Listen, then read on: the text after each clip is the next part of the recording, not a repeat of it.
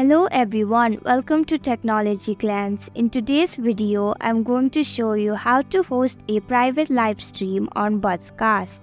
Make sure to watch the whole video to learn how. Let's begin. First, open up Buzzcast on your mobile device.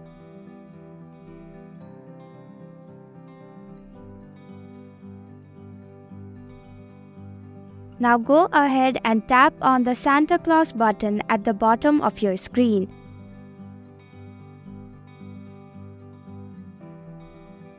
Now tap on the small lock icon at the right of your screen. But you can only host your own private live stream after you have reached user level 3. If you have already reached user level 3, tap on go live to start your own private live. And that's it. I hope you found this video helpful. If you did, please click the thumbs up button.